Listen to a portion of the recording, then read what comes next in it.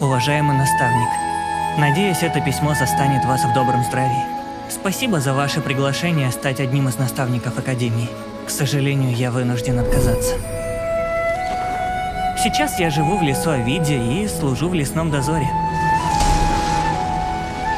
Это не самый значимый пост, но близость тропического леса позволяет углубиться в полевые исследования.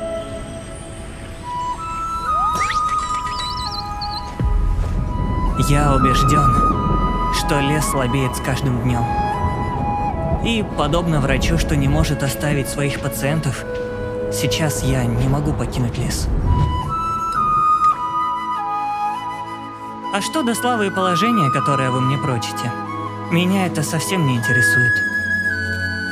Но если вас заботит наука, отправьте сюда лучше группу ученых, которые помогут установить, что происходит с лесом. С уважением, ваш ученик Тигнари.